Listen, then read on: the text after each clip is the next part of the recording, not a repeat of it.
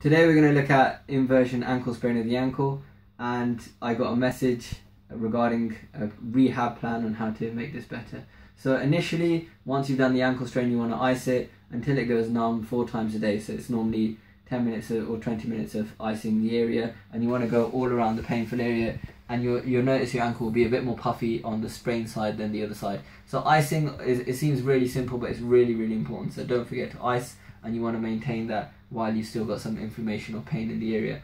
Once it, once that's gone, you can start to do some flexion extension exercises, so non-weight bearing. You can do this motion, um, and then you can do pronation and, and supination, or inversion and eversion. Once you've done that, you can start to move on to weight bearing. So you can go as what ballerinas do, so toe stands. So you come up onto your toe, and you can go up as high as you can comfortably, and then back down. So you can say do three sets of 10 and you can build up to 100 repetitions a day. So you go as far as you can within the pain-free range, you go to the edge of pain and then return.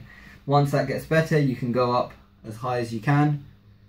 Once that gets better, you can go up and then do one foot.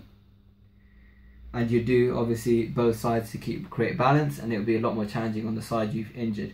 Once you've done that, then you can build up to movement. So you can try and go for a light jog, for example, which is going to put more impact to the ankle.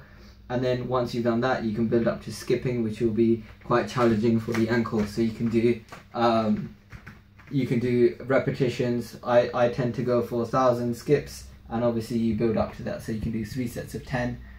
Once you can do that, you know your ankle is in a good condition to be able to do anything because plyometrically it's able to explode when you need it to in terms of the muscle is able to contract there is a 30% of reoccurrence in ankle sprains for people who have inversion ankle in, uh, in injuries within the first three months. You've got to be careful, and if you are going back to football or, or activity quite quickly, you want to strap it while you're doing the activity, but not at any other time.